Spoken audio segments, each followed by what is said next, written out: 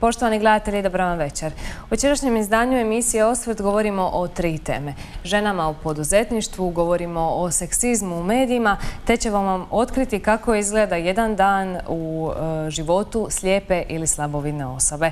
Prva tema su žene u poduzetništvu. Moja gošća je Ivana Ninčević, predsjednica poduzetničkog centra Solin. Dobro večer, dobrodošli. Dobro večer, Ivana. Prošloga tjedna zaslužili ste druženje s predsjednicom kao osoba koja je svojim društvenim zalaganjem e, ostavila utjecaj u Splitsko-Dalmatinskoj županiji. Bilo je tu još mnogo žena iz raznih područja. Vi ste joj e, otkrili neke potencijale, ali i probleme e, s kojima se nailazite u svom području djelovanja poduzetništvu. E, prvenstveno jedno pozitivno iskustvo i e, ugodno iznenađenje za mene uopće biti pozvana u ured predsjednice kao žena koja je svojim zalaganjem ostavila e, utjecaje na Županiju Spetsko-Dalmatinsku i da kao predstavnik poduzetničke potporne institucije ukazala sam na probleme koji se dešavaju u poduzetništvu kao i predstavila cilj i rad poduzetničkog centra Solin. E pa, to je odličan uvod e, za naš e, prilog. Predsjednica se naime e, prošlog tjedna sastala i s gospodarstvenicima u Županijskoj komori Split. Bile su isto naravno na takve teme, a bilo je tekako zamjetno da je malo bilo je jako malo žena prisutno na tom sastanku, što je zapravo i očekivano. Pogledajmo zajedno prilog.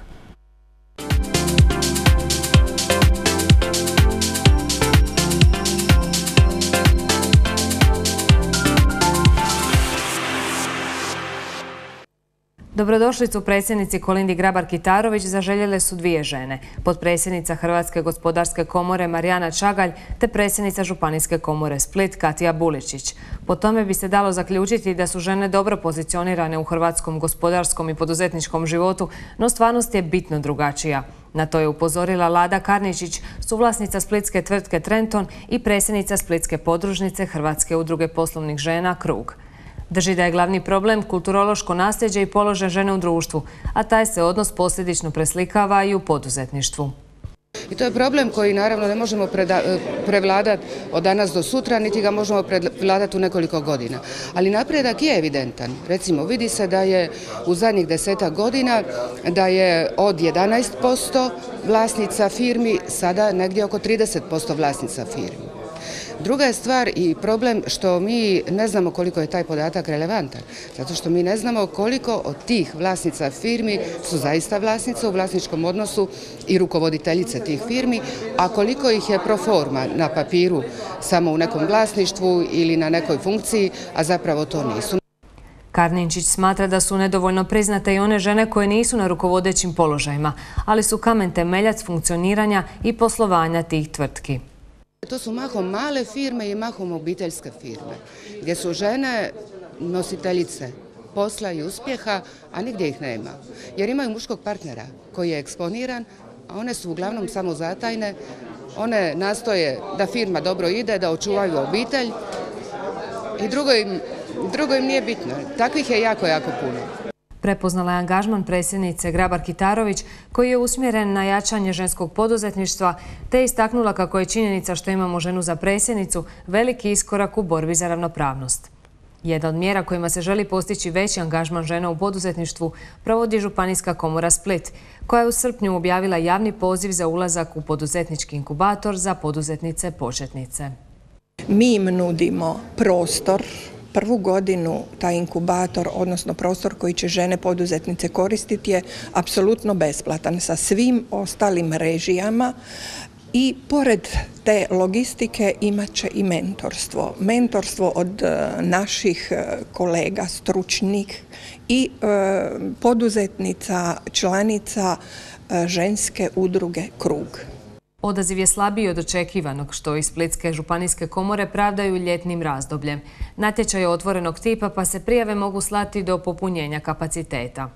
Povjerenstvo koje će vršiti odabir vodit će se mm, proizvodnim, odnosno e, djelatnostima koje nisu dovoljno zastupljene u ovoj e, našoj županiji, ali nek to ne bude e, obeshrabrenje, nek se žene jave, procijenit ćemo, ocijeniti i odabrati četiri žene jer je toliko prostora na našem petom katu, četiri su kancelarije, apsolutno opremljene telefonijom, kompjuterima i svim ostalim što je potrebno za start. Često se postavlja pitanje je li potrebno govoriti o muškom i ženskom poduzetništvu. Odgovor je uvijek isti. Da, o ženskom poduzetništvu treba govoriti jer je ono osjetljivije i treba mu više ovakvih i sličnih sustava podrške da bi se razvijalo.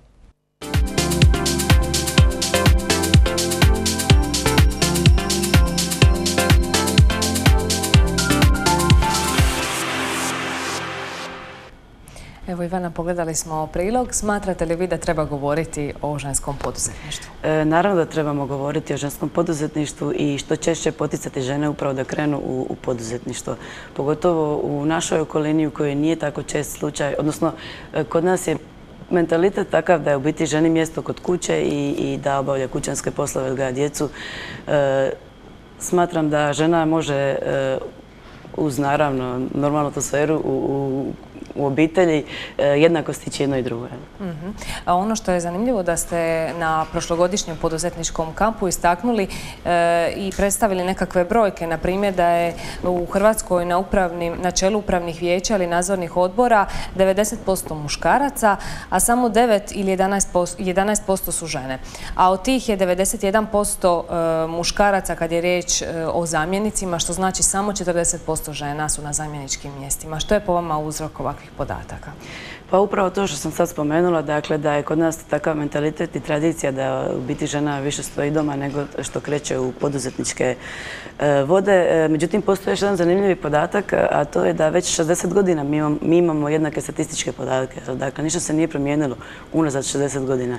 Mislim da je to e, jednako tragično kao to što, što žene se nalučuju često u poduzetništvo. Mhm. Kako ste došli do tih podataka? 60 godina, to je zanimljiv podatak. Postoji, dakle, strategija e, ženskog poduzetništva koja je ove godine izdana od strane Ministarstva poduzetništva, a inače jako e, često pratim sve moguće statističke podatke vezane za ženu poduzetništvo, tako ovaj, da znam te Imate svoj centar poduzetnički. Koje su to nekakve djelatnosti koje se žene najčešće upuštaju? Možemo li govoriti uopće o tome? Pa teško je e, govoriti o određenoj djelatnosti. Jer muškarci i žene u momentu kad se e, odluče krenuti u poduzetničke vode e, to je nešto što jednostavno ili imate u sebi ili ste nakon radnog iskustva u određenoj tvrtci odlučili da, krećete, tako da e, jedino što u našem iskustvu kroz e, rad poduzetničkog centra mogu primijetiti je da kad se žena odluči e, krenuti u poduzetničke vode, da je to često, odnosno u 99,9% slučajeva,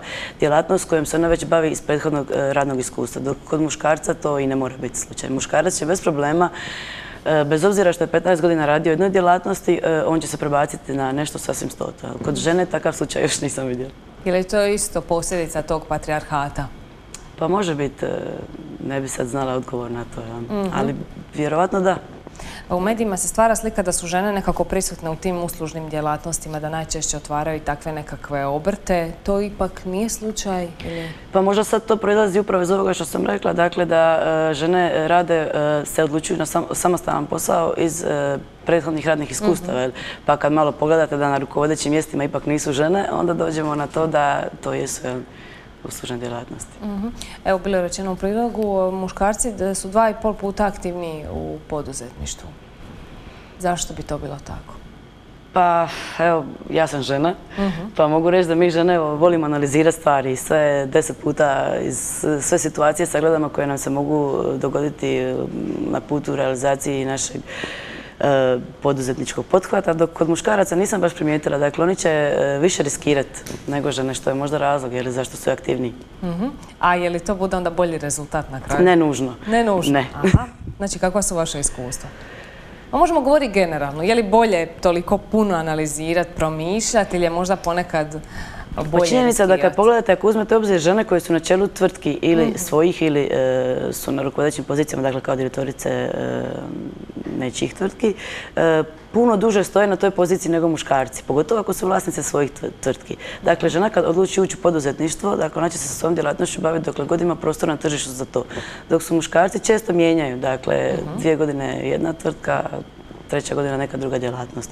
Kod žena to nije čest slučaj. Dakle, one ono što su ušle, one to slijede. E, to isto možemo reći odraz nekakvog društva. Muškarci imaju više slobode i u tome. I pa lakše im je promijeniti zanimanje. Iako u e. našem društvu još uvijek e, općenito bauk kad mijenjaš, zanimanje. Naravno, ja, sam ipak jedan dio života živjela u Americi i studirala i tamo je sasvim normalno da svake mhm. godine, pola godine, nije bitno, jednostavno promijenite svoje radno mjesto jer vam ne odgovara i tražite se. I inače, po statističkim podacima, odnosno znanstvenim istraživanjima, bi čovjek nakon šest godina trebao mijenjati mijenjati e, svoje radno mjesto jer dolazi do zasićenja i više ne može, e, ne koristi svoj maksimum. A kod nas je kad se zaposlite, onda tu stojite do mirovine.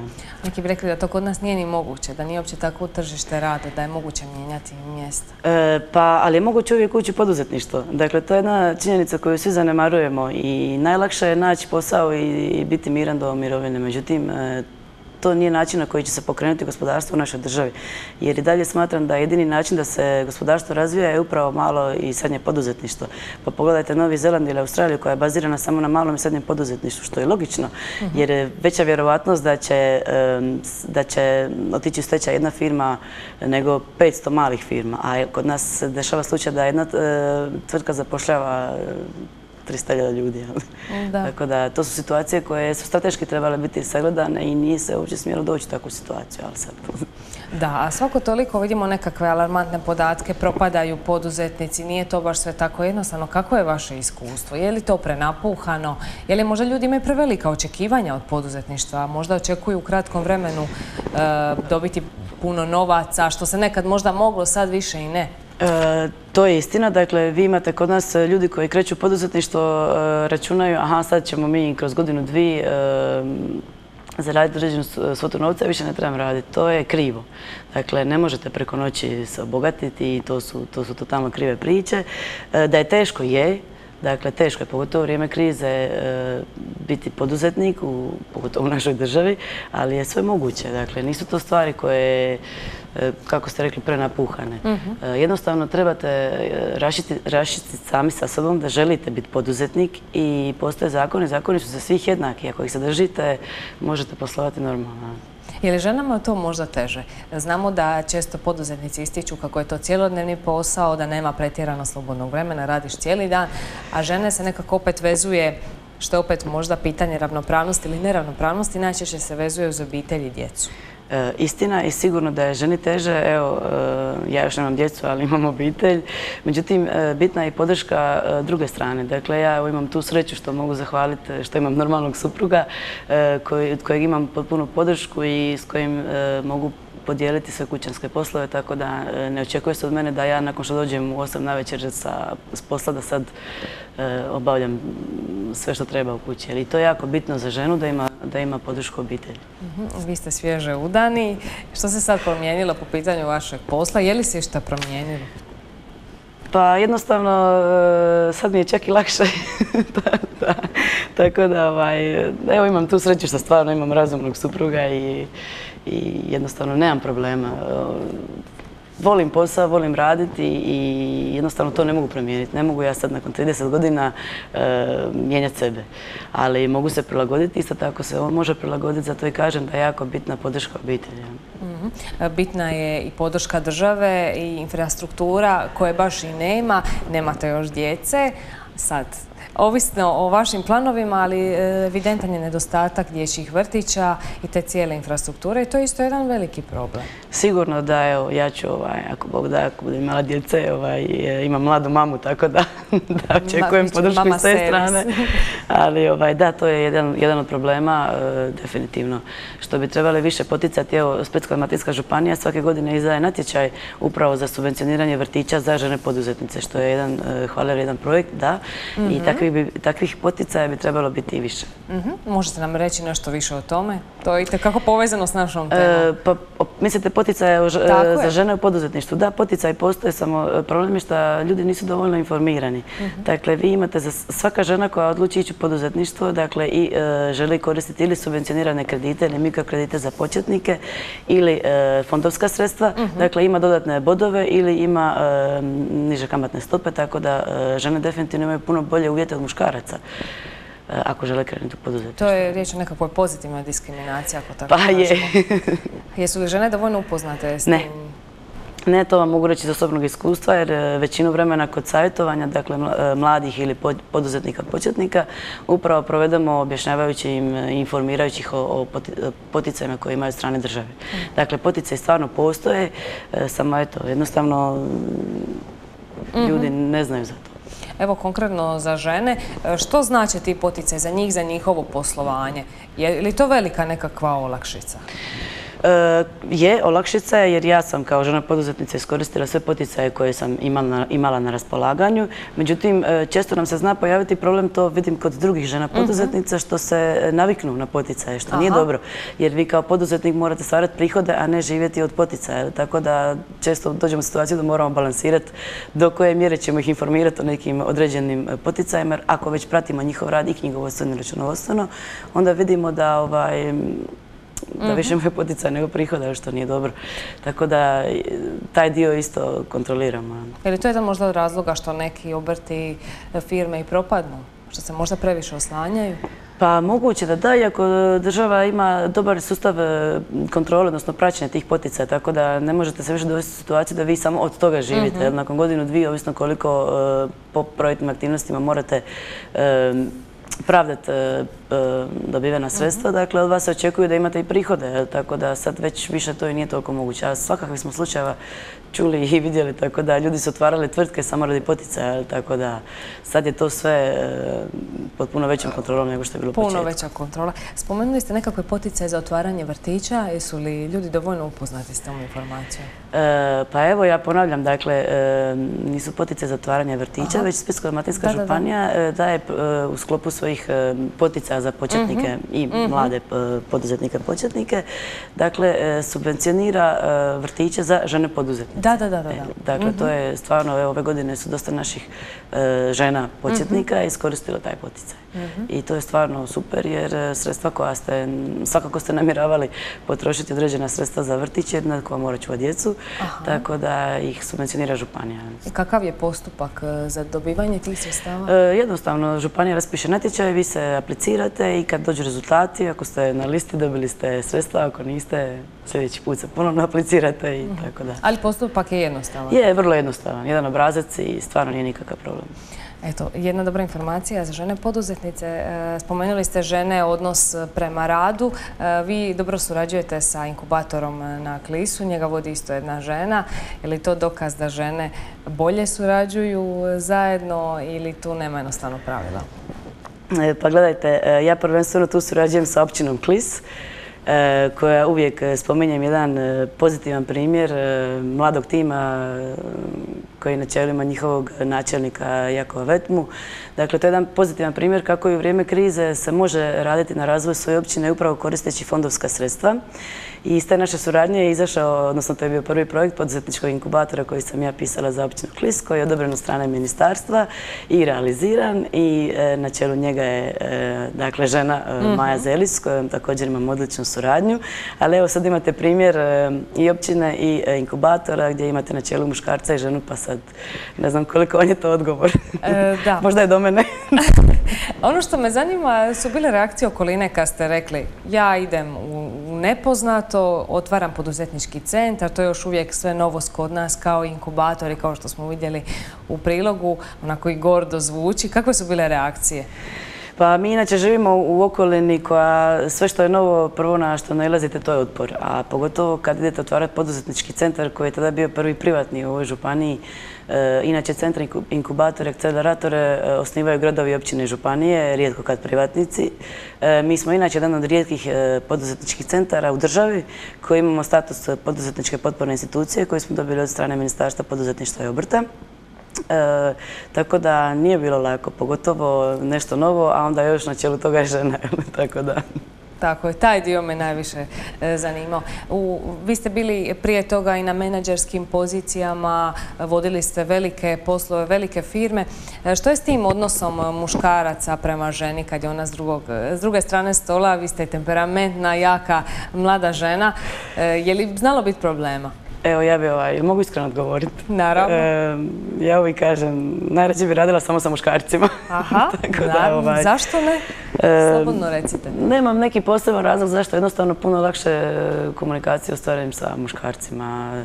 E, naravno da nije to pravilo i naravno da imamo odličnu suradnju sa ženama, ali često kod žena E, ne naiđem na toliku ljubaznost, susretljivost e, kao kod muškaraca. Tako da ne znam što je razlog tome, ali to je moje iskustvo, iskreno. E, ono što me zanima je, vidjeli smo u prilogu, ti inkubatori su isto postali veliki trend.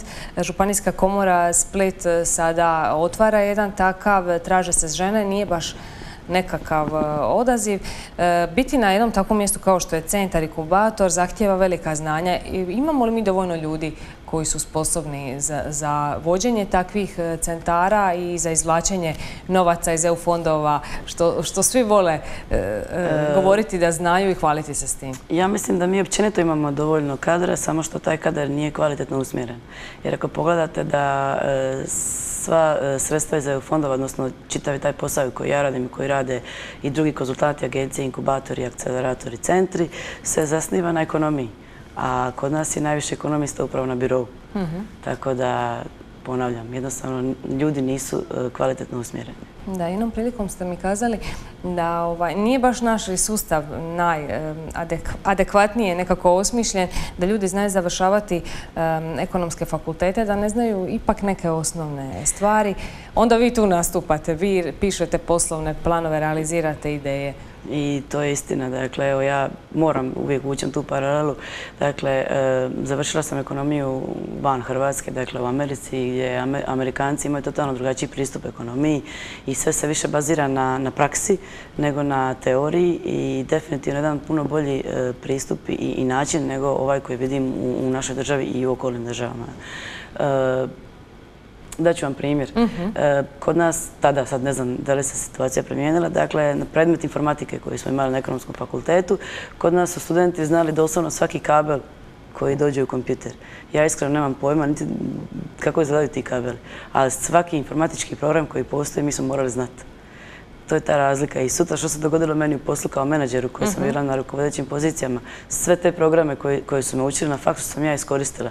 Čisto sumnjam da su, ovaj, da su mi, da, da je neko iskoristio te kabele na jednaki način kao što sam ja iskoristila e, znanje koje sam dobila na fakultetu.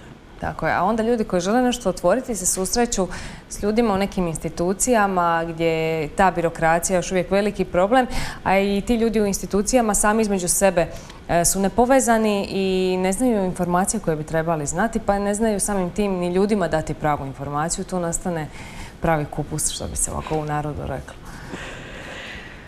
Pa sad me pitate stvari ovaj, koje su vezane za, za državne institucije. Ne da sad prozivamo institucije, ali ljudi se često žale na to da ne mogu dobiti pravu informaciju. Zato se vama i obraća. E, to je istina. Dakle, često ljudi dođu kod nas i kažu da nisu dobili prave informacije e, od institucija kod kojih su tražili, ali morate uzeti u obzir da i ljudi nekad ne znaju gdje trebaju pitati.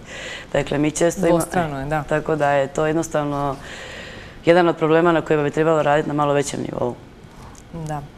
E, zanima me vaša suradnja sa Zavodom za zapošljavanje. Radili ste nekakve radionice s njima, pomagali ste ljudima, zapravo otkrivali ste im te informacije. Je, imamo e, odličnu, suradnju sa Hrvatskim zavodom za zapošljavanje i ovim u Solinu koji, se doslovno nalazi vrata do nas, a i s ovim u Splitu. E, dakle, održavali smo radionice za njih i jednostavno svo svoje iskustvo koje imamo sa poduzetnicima početnicima, pogotovo knjigovodstveno računovodstveno, jer to su stvari koje su početnicima uvijek interesantne jer oni ne znaju što njih čeka kad otvore mhm. svoju tvrtku. Jer najlakše je otići na hitro HR i otvoriti tvrtku u roku od 24 sata. je li ono, moguće to zapravo? Ja, sam, ja moram se pohvaliti, svi su rekli da je, da je to nemoguće, da se tvrtka otvori u roku od jedan dan i onda sam, to baš bilo na, na društvenim mrežama, sam stavila, ovaj, tako da mogu pratiti. Otvorila sam je u roku od pola dana. Tako da je moguće. To je lijepo, lijepo zvučiti, ali vi baratate pravim informacijama. E, stoji, ali isto tako nisam tip osobe koja će na prvu, re- na, na, na, e, prvu prepreku reći ne može se. A to je isto jedna stvar koja je kod nas e, prisutna u mentalitetu. Dakle, najlakše je reći, a to se ne može. Sve se može, samo treba dovoljno volje i strpljenja i sve, sve, sve, sve se može napraviti. I vi ste tu da date pravu informaciju, ali ima i onih ljudi koji dođu i traže od vas da i napravite sve na gotovo. Zapravo, konkretno, što vi nudite kao centar? Pa često se zna da dođu kod nas e, klijenti i kažu ja želim sredstva iz EU fondova. Dobro, ok, e, čime se vi bavite, što želite raditi? A to mi vi dajte ideju. Mislim, to je e, smiješno u najmanju ruku, da naravno da ljudima objasnimo kakva je procedura i o čemu se tu radi, ali rijetko kad e, i kod takvih e, osoba uopće uspije nešto poduzetništvo. Jer ako vi nemate definiran svoj cilj i ako ne znate što želite, teško da će vam i sredstva pomoći da bi ih uopće i dobili. A mi vam nećemo ni stati na usluzi, dakle nećemo vam ni pomagati ukoliko nemate razrađenu ideju koju, koju želite e, e, realizirati. E, Ono što mi nu- nudimo e, prvenstveno poduzetnicima, početnicima i mladima, e, sve što radimo za njih radimo besplatno. E, To je nešto, to je nešto što ja Tu kad- se i žene isto tako ubrajaju. da, jednostavno kad sam, e, kad sam pokrenula poduzetnički centar, sve sam e, radila sama, e, godinu i pol dana volontiranja i jednostavno nisam naišla na nekoga koji je bio voljan mi pomoći. Tako da najmanje što mogu napraviti je početnicima pomoći toliko da im ništa ne naplaćujemo. Dakle, sve što njima radimo, e, radimo im besplatno, dok ih ne dovedemo u fazu da postanu e, poduzetnici, onda, onda vratimo nazad, ovaj, zezam se naravno. Osim što pomažete drugima, radite i svoje projekte. Koji je to nekakav projekt na koji ste najponosniji? Pa ja sam ponosna na svaki naš projekt onaj od e, najmanje do najvećeg. Međutim, ja sam rođena u Solinu i naravno da me taj projekt e, najviše dire, da sam na njega najponosnija. To je projekt Kulturno-informativnog centra e, Salona koji sad kreće u gradnju. Projekt vrijedan e, 18 milijuna kuna i napokon ćemo staviti salon u funkciju i ponosna sam na to. Možete nam otkriti malo više detalja? E, Pa Kulturno-informativni centar Salona je baziran u biti na Five Sense, Turi- e, Five Sense turizam, odnosno turizam pet osjetila. E, Dakle, svaki gost koji dođe u salonu je kroz, e, je, može doživjeti salonu jednako kroz bilo koje dosjetila, što automatski znači da je e, salona kao destinacija dostupna svima.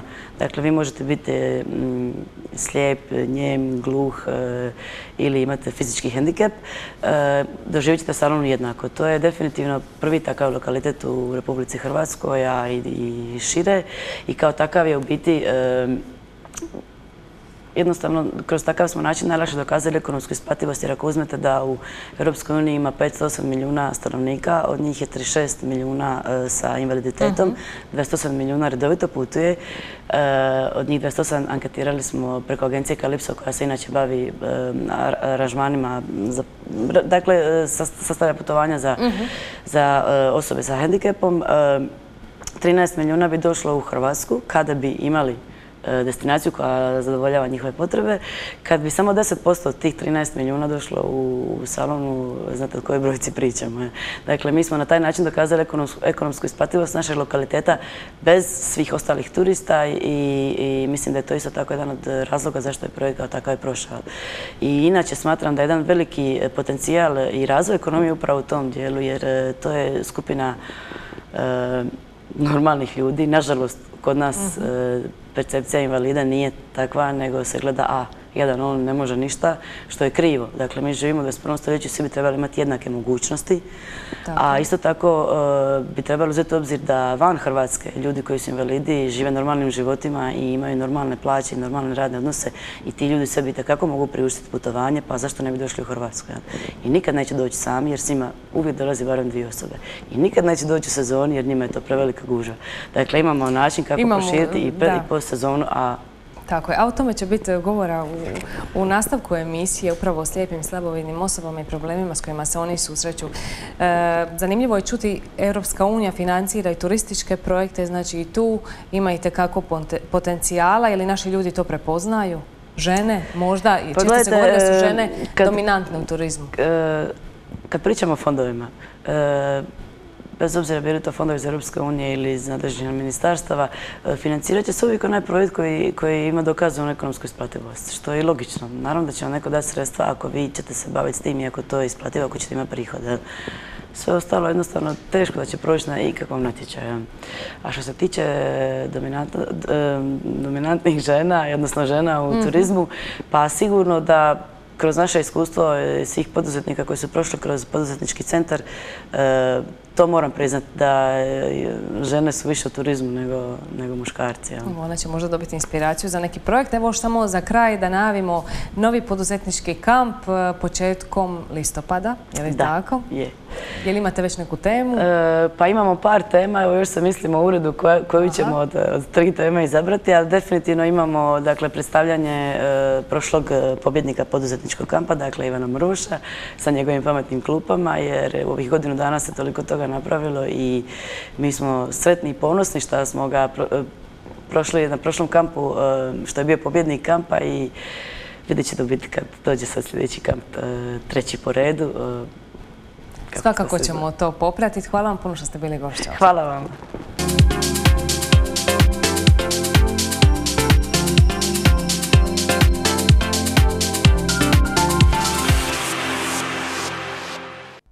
Poštovani gledatelji, došli smo do kraja prvog dijela osvrta. Pred nama ostaju još e, dvije teme. Govorimo o e, seksizmu u medijima i e, o životu slijepih i slabovidnih osoba. Ostanite s nama, vraćamo se uskoro.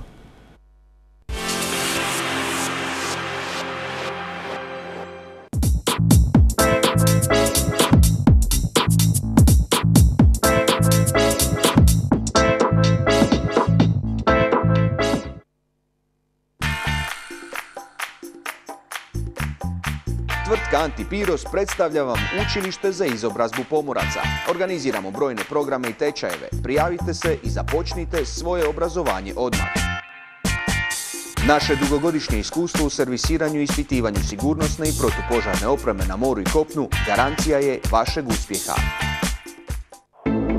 Jukić sve vrste radova na fasadama kuća, zgrada, apartmanskih naselja i poslovnih centara, iskustvo rada na više od 5000 objekata, završni radovi, unutarnje i vanjsko žbukanje, sanacije i postavljanje toplinskih fasada na području cijele Hrvatske, visoka kvaliteta i profesionalnost, kvalitetni, provjereni i atestirani materijali, vlastita oprema i mehanizacija. Posjetite naš veliki prodajni centar građevinskog materijala u Dicmu ili nas potražite na jukić-dam.hr. Visoka škola Logos Centar u Mostaru izvodi programe obrazovanja četverogodišnjeg i trogodišnjeg trajanja, a po bolonjskom procesu. Postani student i prepusti nama odgovornost i čast da vodimo brigu o tvom obrazovanju i o tvojoj budućnosti.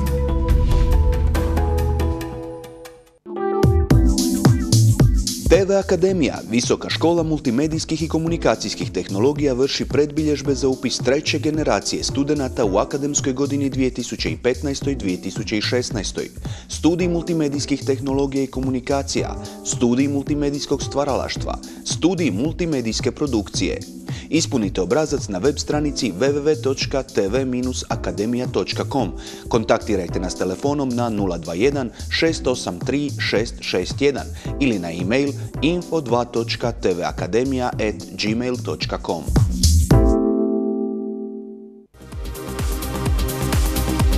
Dr. Luigi, hrvatski brend na zdravstvenim sajmovima u Europi. Pariz, Karakteristika sajma su poslovi ugovoreni s klijentima frankofonskog područja gdje se posebno ističu Maroko i Tunis. Bolonja. Dr. Luigi može ponosno konstatirati da smo nakon sajma u Bolonji ušli u sve 22 pokrajine u Italiji sa svim našim proizvodima. Minhen. Pored tradicionalnih ortopedskih servisa, Dr. Luigi ulazi u ostalo zdravstveno tržište Njemačke i susjednih država. Birmingham. Dr. Luigi je iznenađenje za Engleze. Naš proizvod je budućnost na engleskom tržištu, a posebno je velik interes bio prisutan kod irskih i islandskih predstavnika. Moskva. Sajam u Moskvi dokazao je prihvatljivost ovog proizvoda u ruskim bolnicama i zainteresiranost za otvaranjem dijagnostičkih centara. Prvi takav centar otvoren je u Sankt Petersburgu. Na kraju prezentacije Dr. Luigi-a su popratile tiskovne i televizijske kuće, pa čak i u nacionalnim programima.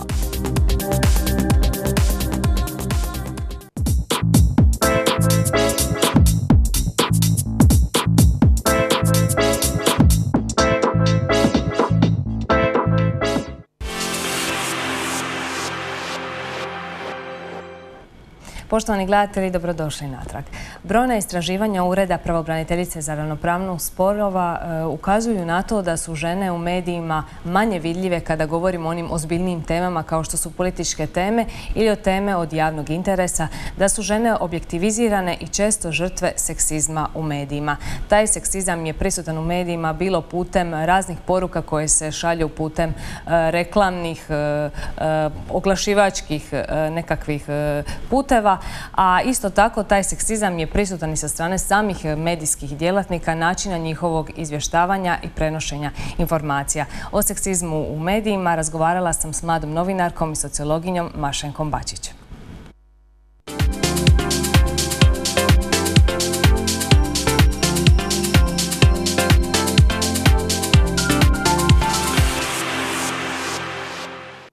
Jesmo li uopće svjesni koliko je seksizma prisutno u medijima? Naravno, s tim idu nekako i rodni stereotipi.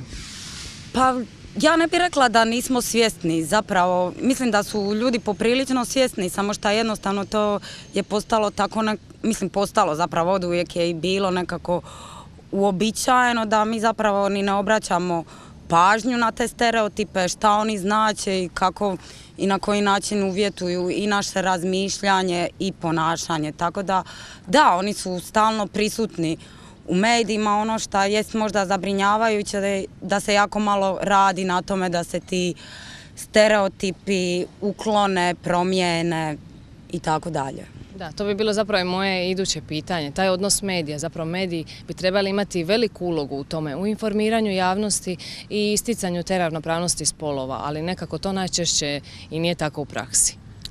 Pa općenito današnja uloga medija se poprilično promijenila. Ona zapravo svakim danom sve više i više gubi tu nekakvu obrazovnu svoju ulogu koju je prije imala. To se posebice odnosi na komercijalne medije koji zapravo se vode nekakvim tržišnim principima i ne mogu voditi računa o nekim onim divnim stranama profesije kojima su se prije bavili. Dakle, to nije zapravo samo što se tiče pitanja položaja žene, to se odnosi zapravo i na sve manjine, sve one ugrožene skupine, ali i na neke druge stvari i druge sfere. Dakle, kad mi, mislim, vrlo teško, licemjerno je zapravo zgražati se na time što neki mediji e, prikazuje ženu na taj ili ovakav način, šta daje top liste ovakvih ili onakvih žena. Mediji to rade ponajprije jer im to omogućuje da zadrže svoje oglašivače, da ako su portali da imaju klikanost, ako su radija da imaju slušanost, ako su televizije gledanost. Međutim, to da kako ne znači da ti mediji ne rade dobro svoj posao u nekim drugim stvarima. Ali vidimo da mnogi baš se odlučuju na taj potez. Ok, imaju nekakve dijelove e, koji se bave ozbiljnim temama, a onda imamo obavezno rubrike e, gdje su gole žene i to jednostavno ne možemo zaobići. Dođemo na nekakav, recimo tako, ozbiljan medij i samo iskaču te gole žene. Pa da, ali to je ovo što ja kažem. Ima nekoliko vrlo kvalitetnih portala koji su komercijalni, koji imaju takve i takve rubrike koje vi ili ja možda nećemo gledati jer to ne znam, nije u skladu s nekim našim vrijednostima, ali kažem, to je, to je zapravo opstanak medija, oni ne mogu drugačije opstati. Ja Problem je u cijelom nekom vrijednostnom sustavu koji bi trebao mijenjati. To jedan portal sam sasvim sigurno ne može napraviti. Ako će on ni neće vjerojatno. Ako će on, ako on da bi mogao platiti novinara istraživača morati imati gole žene na naslovnici, to je tako kako je. Ja nisam zadovoljna s time, ali mogu razumjeti tu poziciju. Dobro, s druge strane, e, istraživanja pokazuju da su žene manje prisutne i u takvim medijima kada govorimo o političkim temama, temama od javnog interesa. Gdje je tu problem? Jesu li opet problem žene koje nedovoljno pričaju o tim temama ili je to opet stvar medija kojima one nisu jednostavno zanimljive e, kad je riječ o takvim temama, ozbiljnijim? Pa, kad je riječ općenito nekakvom izvještavanju o nekim manjinskim marginaliziranim skupinama u šta žene svakako spadaju, onda imamo nekoliko razina. Prva bi bila ta jezična razina na kojoj medij koji izvještava treba paziti o tome da ili ravnomjerno upotrebljava ženski i muški rod ili da koristi one slash e, crtica ako je print ili da koristi jedan i, i drugi rod. Sad I, to se čak ne, poštuje, ali dobro, ajde, tu, tu negdje postoji taj neki pomak. To je ta prva razina formalna. Druga bi bila ova sadržajna razina gdje onda vi nastojite kad obrađujete neku temu pozvat, ako zovete nekakve stručnjake, da imate ravnomjeran broj muškaraca i žena, da imate ravnomjeran broj različitih tih nekih manjinskih skupina i to se uglavnom, uglavnom se to ne dešava. Sad, naravno, moguće je da u određenim profesijama žene su manje prisutne na tim nekim visokim pozicijama, ali ako se potrudite uvijek ćete naći dovoljno kvalitetnu ženu i muškarca i, i moćete, to je zapravo samo stvar volje nekog urednika, odnosno novinara, volje i svijesti da to poštuje i da radi na taj način. Možemo se vratiti na onaj dio što se tiče same svijesti i- žena i, i njihovog odabira da budu objektivizirane na neki način. Ok, mediji su ti koji diktiraju e, sliku žene, ali žene to prihvaćaju. E, I onda često nastanu problemi kad one budu i preotvorene u tome svemu. Da, ali mislim da to, to nije problem žene i, njenog izbora. Problem je zapravo što se muškarcu to nikad neće desiti. Šta vaše pitanje nikad umjesto žene neće imat muškarca. Mislim, ako neka žena koristi različite načine da postigne što želi, to, to je njena stvar. Problem je tog sustava prema kojem ona zapravo da bi nešto postigla mora sebe staviti ili u situaciju objekta ili igrat na neku kartu svoje ženstvenosti. Ne znam, Bili se trebale boriti protiv toga? Da. se, političarka ako se slika u nekakvim hula hopkama na mrežice, Mhm. odmah će izazvat pažnju. Muškarac koji to napravi, koji se slika gol do pasa, on prikazuje nešto drugo. Sasvim druga je ta Mhm. konotacija tog muškarca. On prikazuje snagu, nešto, neku kvalitativnu svoju osobinu. Žena je objekt. To je ono šta je, šta je problem. Da.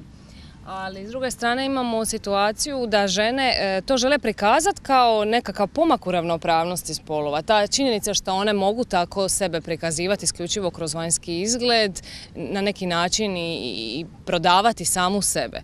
Ali kažem, to je opet e, nečiji vlastiti izbor, to nije na nikome da osuđuje, komentira, to je zapravo samo jedna od taktika nekih žena koje to biraju ili ne biraju. Problem je to šta je to taktika koja uspjeva i šta je to nešto šta kod u muškom svijetu ne postoji. Mislim, patrijarhalni sustav je takav kakav je. On on je problem ženi, nije, mislim, on je problem i muškarcu, jer jako puno muškaraca se isto tako ne uklapa u taj okvir.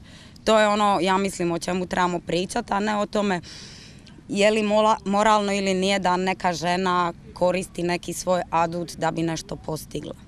A što se tiče seksizma, neki kažu da je seksizam e, kada predsjednicu nazivamo samo Kolinda po imenu, e, kada analiziramo što oblači i, proglašavamo neke njene odjevne kombi- kombinacije najseksi, naj, e, ne znam, u tom nekakvom stilu, a s druge strane nikad nismo čuli da su neke predsjednike st- svrstavali i na neke top liste dobro odjevenih, loše odjevenih i obraćali im se sa imenom. To- da, to- svakako jest problem. To jest problem cjelokupne zapravo naše političke kulture. Ja se sjećam Jadranku Kosor su zvali Jaca, pa, su, pa se onda ona bunila, pisala i nekako je nastojala to ovaj, spriječiti u, u medijima.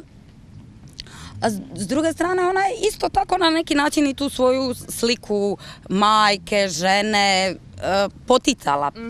Tako da to je sad opet, opet je to sad dvostrano. To je ono na što žena kao žena mora biti svjesna. Što se tiče sadašnje predsjednice, ono što je mene baš jako, jako neugodno iznenadilo, mislim da je to bilo i na, e, na noć pobjeda i uoči onih njenih predizbornih skupova, što su prilikom tih skupova njeni sljedbenici, pristaše, kako ćemo ih nazvat, izvikivali ime njenog muža. Vi danas znate ime njenog muža, znate li ime Josipovićeve ili žene Stipe Mesića ili ne znam. Da, treba i na taj način razmišljati. Da. Ono što me zanima je nešto vezano za temu seksizma je zapravo odnos e, žene novinarke u svijetu medija. E, nisu baš nešto zastupljene na nekim visokim uredničkim položajima. Vi ste mlada novinarka, kako je vaše iskustvo dosadašnje? Jeste li imali možda više problema u tom svom polju djelovanja istraživačkom novinarstvu nego što bi imao jedan muškarac? Pa, dobro, ja nisam baš istraživački novinar, novinarka. Istraživačko novinarstvo, to je jedna sintagma koja pomalo u Hrvatskoj nestaje. Ona je, ovaj, to je dosta skup sport, teško se s time baviti. malo ima istraživačkih novinara i novinarki. Mislim, kada se pogleda, ali to je kao najcijenjeniji dio mhm. te profesije i, i ako gledate recimo nagrade HND-a u posljednjih desetak, 15 godina, pri čemu ja ne mislim da su one neko posebno mjerilo, ali su pokazatelj kako se to kreće, imate možda dvije ili tri, dvije ili tri žene. Što se tiče profesije ukupno, mislim da se tu dešava kao i u mnogim, mnogim drugim profesijama ta feminizacija profesije, ovo što ste sami rekli, dakle, mhm. jako puno je studentica novinarstva, jako puno je jako puno je novinarki, međutim one kada se pogleda slika, organizacijska struktura, one su tu dolje.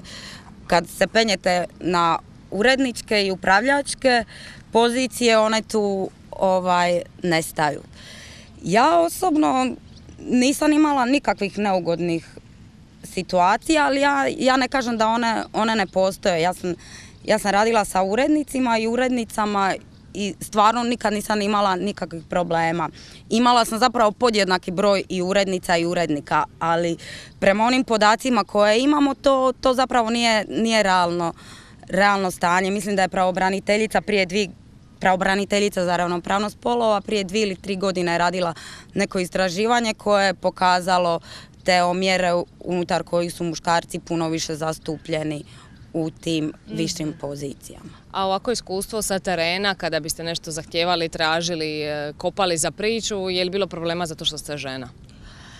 Pa uvijek imate neke situacije gdje se susrećete s nekim ljudima koji su, pogotovo ako ste mlađi, pa onda vas malo gledaju i kao nezrelu, kao curicu, ali to su neke stvari na koje se naučite kako odreagirati, to jest problem, ali to onda sami mijenjate pomalo i malo svojim postavljanjem i svojim pozicijama. To su ti neki mali korati koje žene mogu raditi u svom poslu, a i u odnosu možda unutar svojih redakcija. Hvala vam puno na razgovoru. Hvala vama što ste me pozvali.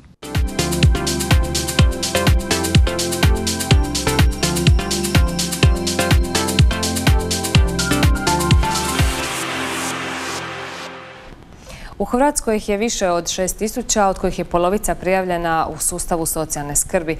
Riječ je o slijepim osobama, ako tome pridodamo i slabovidne brojke su još veće. Sjetimo ih se samo na svjetski dan vida, ali njihova borba za svoja prava traje svakoga dana. Slijedi razgovor s predsjednikom Županijske udruge slijepih, Damirom Smajom.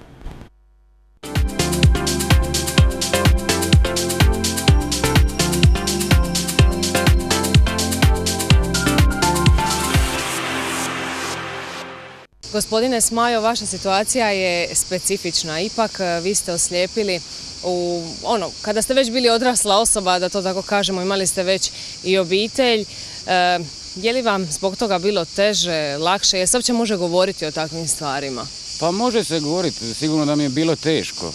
Ja bi bezobrazan kad bi rekao da sam tu sljepoću prihvati ako popušenu cigaru, kako bi rekao, ili popivenu kavu. Nisam, nisam, bilo jako teško imate dvoje male djece, suprugu, nemate stan, e, sto tih nekih problema i vi ste sad trenutno nigdje ne znate ni šta možete, ni di možete. Onda Bogu hvala, došao sam do županijske udruge slijepih Split gdje su me uputili kako kvalitetno odraditi obuku bijelog štapa, iza toga pas vodič, samostalan život. Doduše nisam prolazio edukaciju samostalnog života, nego eto sam sam na svoj neki način to prilagodio kuhanje, kupovinu, prepoznavanje novca uz edukaciju najviše predsjednika bivšeg sadašnjeg predsjednika Vicka Svilića koji me upućivao lagano u život slijepih osoba.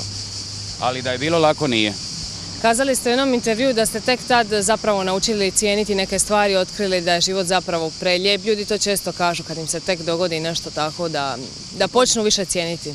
Pa onog trenutka kad nešto izgubite i kad pozlešite prave vrijednosti života, ja sam isto dok sam vidio žudija za autima, ljetovanjima, dobrim mobit, kao sve što jedno ovo marketinško društvo vama nameće.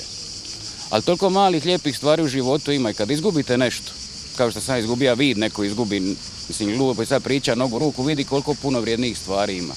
Jer mogao sam biti Bill Gates, niko mi vid neće vratiti. Ali evo niste odustali od svojih brojnih strasti, jedna je kuhanje i dalje kuhate najnormalnije. Najnormalnije kuhan i dalje ništa ne probam šta skuhan.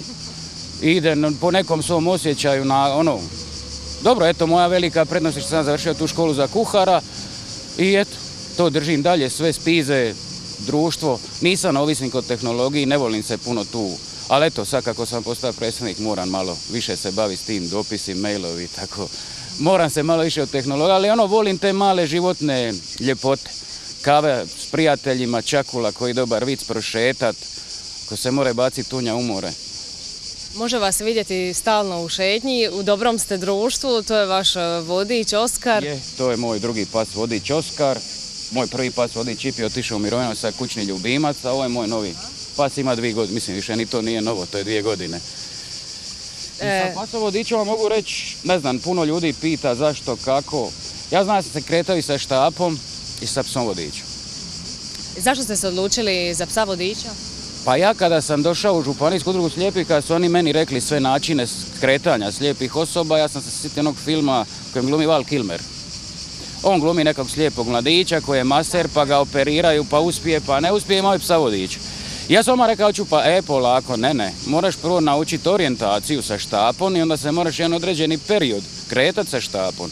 I kretanje sa štapom za mene iziskivalo veliki psihički napor. Mislim, veliki. Izazivalo je psihički napor ti u trenu bit kretanja slijepe osobe da ona mora poznavati teritorij po kojem se kreće vi mene sad odvedite u Karlovac, meni ni pas vodič ni bijeli štap ne mogu pomoći. Ja ću se gibat po Karlovcu, livo, desno, neću ja izaći ni na cestu, ja ću biti po pločniku. Ali ja nemam svoj cilj di želim završiti jer ne poznajem grad. I zato je meni recimo pogotovo u ovoj turističkoj sezoni. Bio vam je problem doći do Đardina, turista jako puno. I sa psom vodiča nazamislite kako je sa štapom. Jer znate, ti turisti dođu, oni Mislim, malo su tu i vodiči krivi, ne želim ih optužiti, ali oni trebaju upozoriti da se maknu sa strane, da tu ljudi prolaze. Tu može proći starija gospođa sa spizom koje su ove stepenice Kregregura jako velike. Razumijete, oni stoje njih 30 na skalama te se slikaju, pa samo stanite u jednu stranu, svi možemo funkcionirati. I kažem, sa psom mi je puno lakše, jer on zaobilazi sve prepreke kojima ja moram razmišljati. Na onom putu kojem ja želim proći. I za vas... sam brži, zdravo za mene kao diabetičara, jer sam non stop u kretanju, evo, 70 kila zadnjih 20 godina. To je idealno za jednog diabetičara da drži konstantu. I tako da je puno mi je jednostavnije, ali nikoga ne mogu uvjeriti, jeli? Recimo razlika je sa osobom koja je slijepa od rođenja.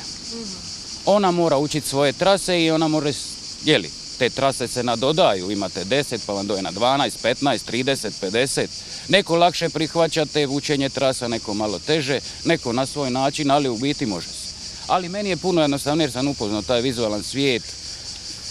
Poznajem centar grada, tu sam cijeli život živim. Jedino pa vam je ipak lakše? Pas je za mene lakše, a neko će reći štap je lakši, ali sto ljudi, sto čudi. Tako je, evo... Da se mi gibamo, to je najbitnije. Za vas kažu da ste pozitivno drska osoba, e, možemo to i protumačiti na način da to i zahtjeva ovo okruženje i društvo u kojem živimo. Sad smo čuli vodiči baš ponekad i nemaju sluha. Što je kad e, je riječ o van sezoni, o onom običajnom kretanju? Pa u običajno kretanje tu su inače po samom centru grada ovaj dio koji se ja krećem, Get, Varoša, Dunica, Riva, tu do općine, ovo je to što ja poznajem. Tu me ljudi više manje poznaju. I više mog šetanja prođe, e, živili šorsmajo, živili kako ste, jeli. Ali uvijek ćete naći na osobu koja šta čuko radi u dućanu, dišti u ambulantu s pasom, e, jel te sram dovesti pasa tu i tu. I onda morate se postaviti, prvo pokušavate na lijep način, međutim onda ta pozitivna drskost mora izaći. Jer ljudi ne vide dalje da izvinete svoga nosa. Jer njima je uvijek, ja svačam, svakome je njegov problem, ali ja ne mogu shvatiti da dođe neko radi operacije nečega u ambulantu i da njemu smeta moj pas, a ne pita ni šta pas, ni kako pas, ni zašto pas. Jer vjerujte mi, taj pas bi radije na livadi trča. nego bija u ambulanti i čeka s menom recimo 45 minuta da ja obavim šta ja trebam obaviti. Od malih nogu treba senzibilizirati e, djecu, to je možda taj jedini pravi put. E, vi ste se odlučili e, ići po školama, upoznavati ih sa pravima slijepih osoba i s vašim funkcioniranjem, zapravo da ste vi normalan dio društva. Pa pazite, ja sam imao jednu jako neugodnu situaciju koju sam doživio i tu sam rekao da ću ja djecu učiti. Što su slijepi, kako slijepi žive, da nismo mi jaždaje. To je bilo, još sam se kretao sa bijelim štapom, znači ima nekih 13-14 godina, odveo sam svoja dva sina u vrtić. I vraćao sam se iz vrtića. I sad razmišljam u glavi sa štapom, tu od škole Dobri, nizbrdo, ja. Dolazi mi u susret gospođe i sa nekom, sa ne mogu reći curica, dečko i to dijete plaće. Znate kakva su mala djeca, ua, neću vrtić, neću ovo, neću ono. I u tom trenutku, kada sam došla možda nekakvih 4-5 metara, gospođa kaže, djetetu, ne budeš li dobar, odničite ovakav sa štapom. Sad pazite, ti ljudi ne znaju da mi slijepi jako dobro čujemo, jako dobro njušimo, jako dobro imamo te osjetila jer organizam sam nadomješta izgubljeni vid. Sa nekim drugim osjetilima. Ja stanem kod gospođe, ja govorim gospođo, jel vi znate što ste i sad rekli? A ona je mislila, ako vi niste mislili, jer vi da ste mislili ne bi to nikad ni pomislili i reći ditetu, evo mi zamislite ja sutra šetam ulicom, padne ni doje vaše dite, još me probije nogon jer sam ja onaj koji otima djecu sa štapom.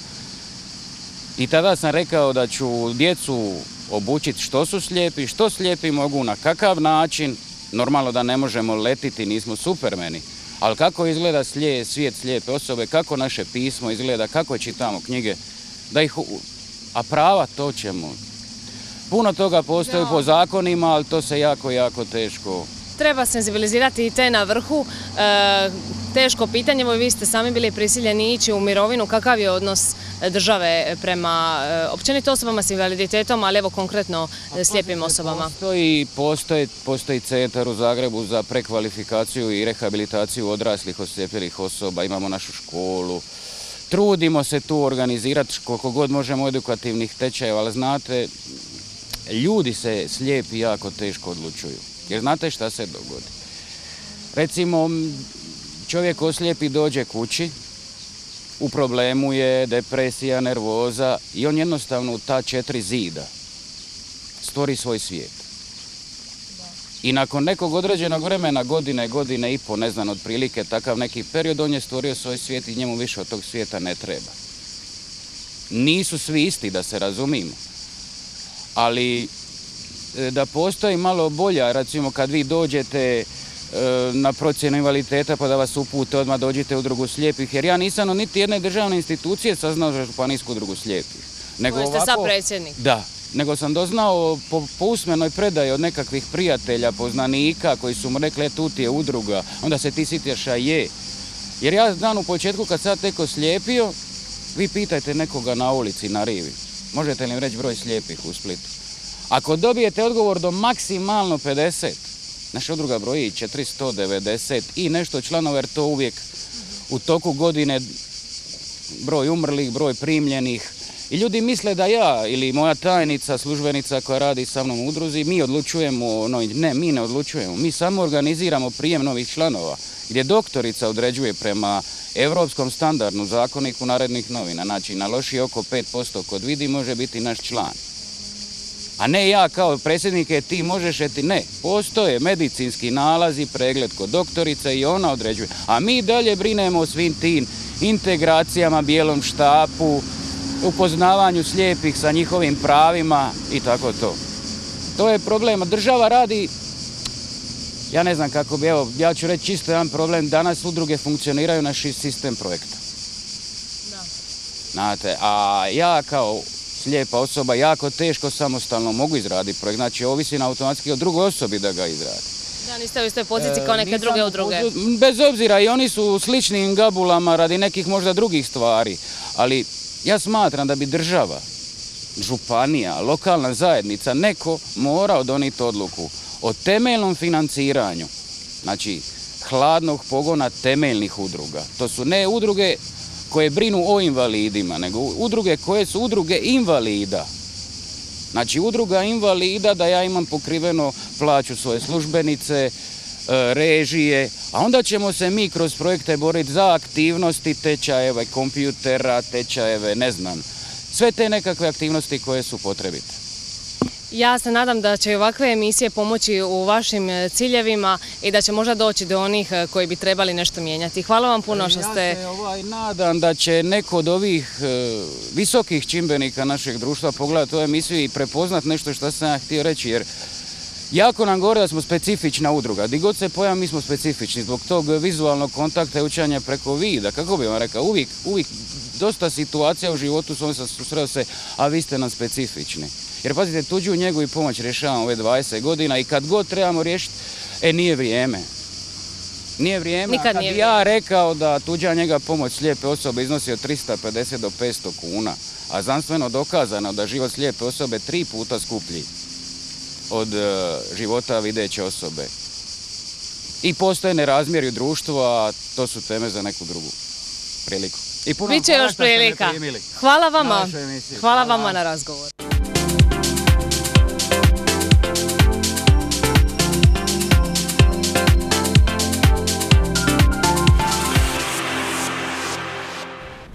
Hvala svim gostima i hvala vama što ste bili s nama večeras. Gledajte osvrti za tjedan dana. Laku noć.